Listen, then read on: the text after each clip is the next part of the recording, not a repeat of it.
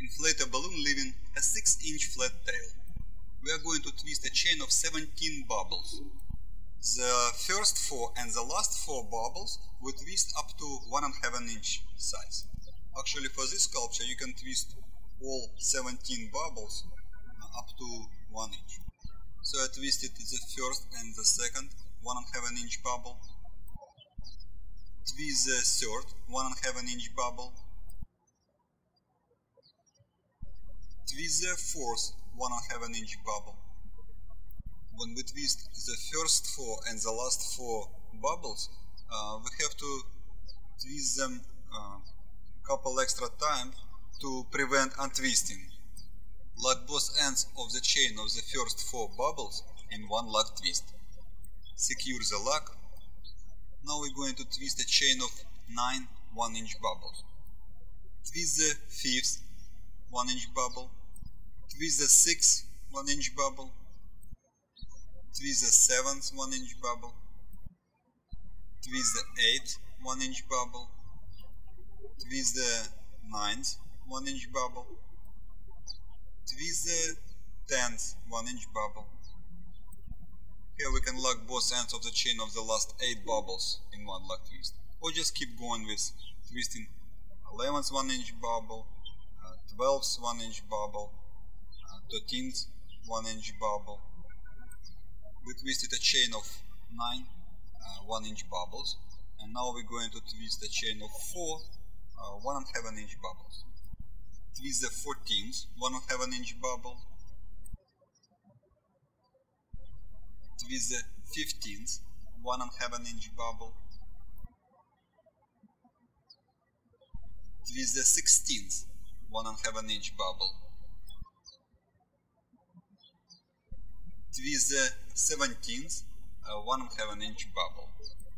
Uh, we have a, a long chain of bubbles to work with and if you previously locked the free end of the 10th bubble, then you uh, don't have this problem now. Lock both ends of the chain of the last 4 bubbles in one lock twist. The rest of the balloon is the 18th bubble. Uh, we don't need it, we can cut it off now can do it later. Now we have to lock the free end of the 10th bubble uh, between the second and the third bubbles. Just uh, roll the chain of 6 1 inch bubbles starting from the 10th, uh, then 9th, 8th, 7th, 6th, 5th bubble uh, through the loop of first 4 bubbles. Good. Here we come to the hardest part. We have to lock the free end of the 7th bubble between the 15th and the 16th bubbles. So there are two points that we have to connect somehow. One point is between 15th and 16th bubbles, and another one between 7th and the 8th bubble. These two points we're going to connect. Well, once again, just roll 5 bubbles. Uh, the first, the fourth, uh, the fifth, the sixth and the seventh bubble through the loop of the last four bubbles. Simple like that. Uh, we have to make sure that uh, the loop of the uh, last four bubbles and the loop of the first four bubbles uh, are interlaced over each other. The front side and the back side of this sculpture looks exactly the same. Let's fix uh, all bubbles in proper positions. This is uh, one of my favorite sculptures. Uh, yes, uh, there is uh, still one more bubble, the end of the balloon, the 18th bubble, we have to get rid of. We can force and hide it inside of the heart, just like this. Here's the front view, the side view, the back view and the top.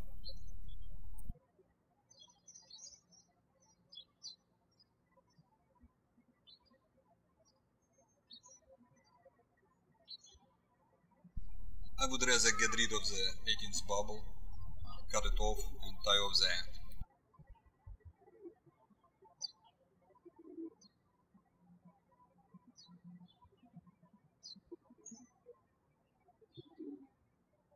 Let's hide the knot between bubbles.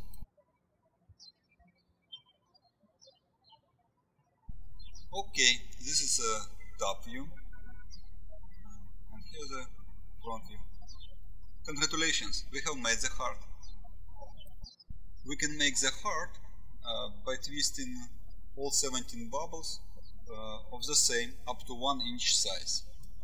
Then we twist 3 more bubbles to make the square. So let's make another heart.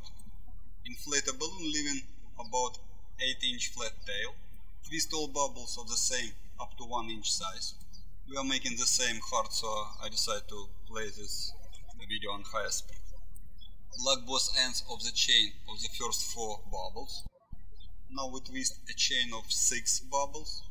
Then we lock the free end of the 10th bubble between the second and the third bubble just uh, for the chain of the last six bubbles through the loop of the first four bubbles. Now we twist a chain of seven bubbles.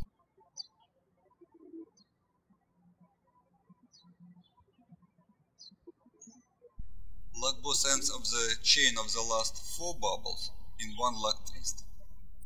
Roll the loop of the last four bubbles over the uh, five bubbles the first, the fourth, the fifth, the sixth, and the seventh bubble. Fix all bubbles in proper positions. We have made the heart. Now we have to twist a chain of three bubbles. Twist the 18th bubble, twist the 19th bubble, twist the 20th bubble, the heart has a triangle shape. And now we have to connect uh, bubbles to complete the fourth corner of the square. Lock both ends of the chain of the last 16 bubbles in one lock twist. Secure the lock. The rest of the balloon is the 21st bubble. We can use it as a handle or just uh, cut it off. Use uh, scissors if you have to.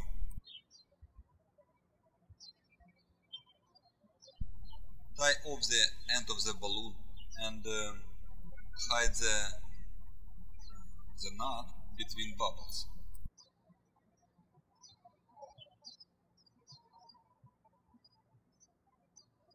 Congratulations, we have made the square.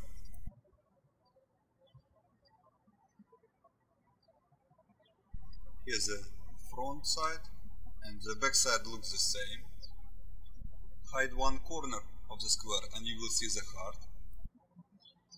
We can use this square to make uh, different sculptures.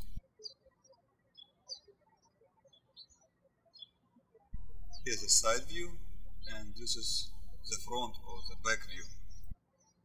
Let's make some improvement uh, on our square lock both ends of uh, a bubble in each corner of the square. So do the math, we have to lock both ends of four bubbles. One, two, three, and then one more bubble, one more corner of the square.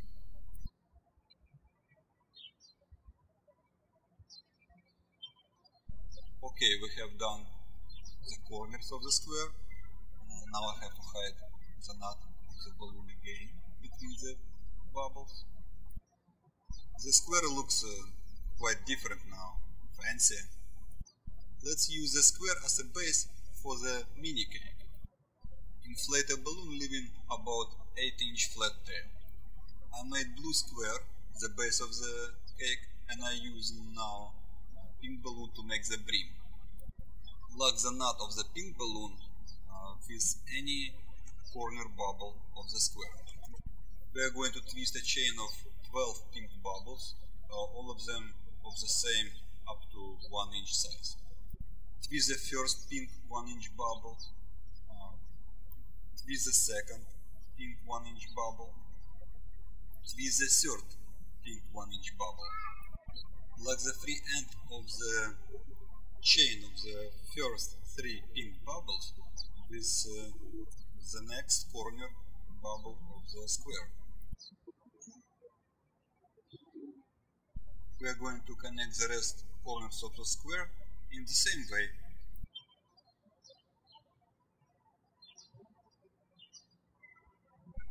With the fourth pink bubble, with the fifth pink bubble, with the sixth pink bubble. Like the free end of the chain of the last three pink bubbles with the next corner bubble of the square. Twist the seventh pink bubble. Twist the eighth pink bubble. Twist the ninth pink bubble. Like the free end of the chain of the last three pink bubbles uh, with the next corner bubble of the square.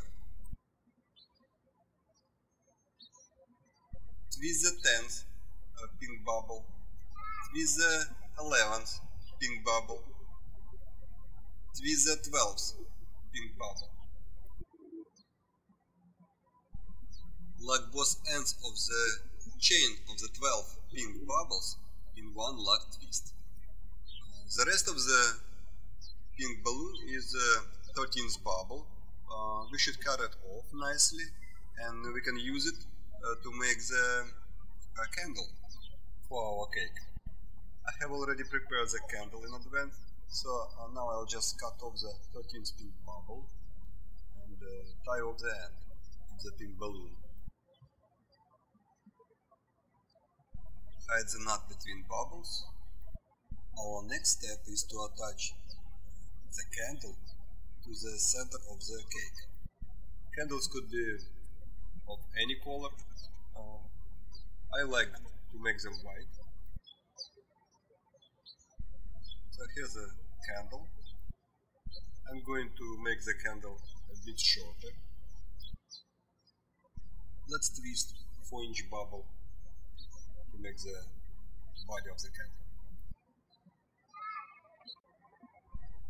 Cut off the rest of the white balloon and uh, tie off the end.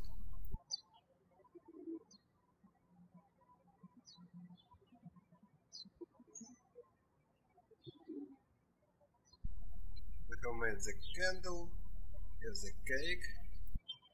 Let's attach the candle to the cake. Just tie the uh, of the candle balloon in the center between the bubbles of the square.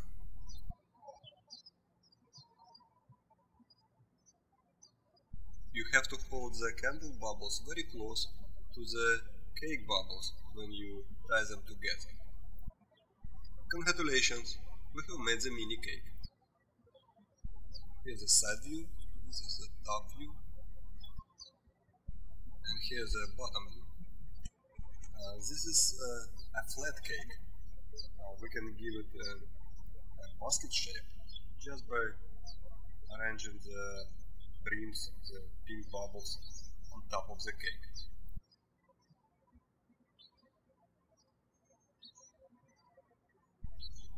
Here is our basket shaped mini cake. Zero sugar, zero cholesterol, absolutely not. This is side view, the top view, and uh, the bottom. Have fun and happy twisting!